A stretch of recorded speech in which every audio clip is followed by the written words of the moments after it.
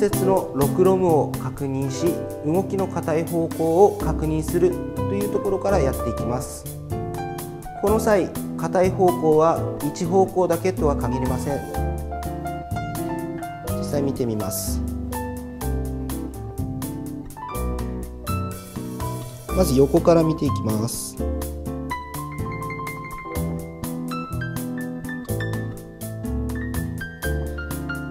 今横の動きはしっかり動きが出ています。こちら引っかかる感じって分かりますか？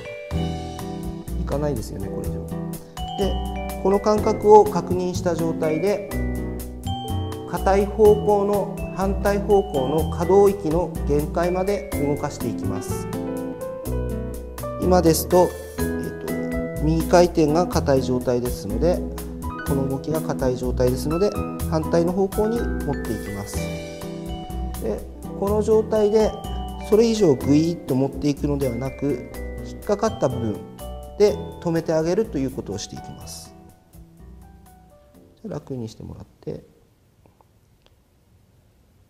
今止めている状態です。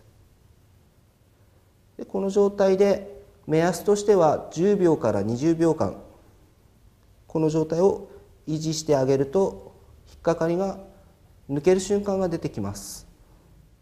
骨盤の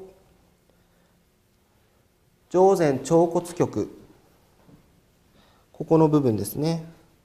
お腹側から触っていった時に一番関節の突出を感じる部分。ここで歪みを見ていきます。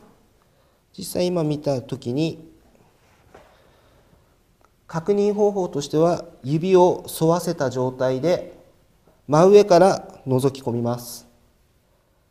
上前腸骨極の内側ですね。一指分一押し分横にずれた位置。ここを押していきます。その際指の四肢を使いまして柔らかくタッチしここですね。で少し圧を加えていきます。痛かったら言ってください。これで今痛みってありますか、はい、こういった少しの圧でも痛みが出てきます。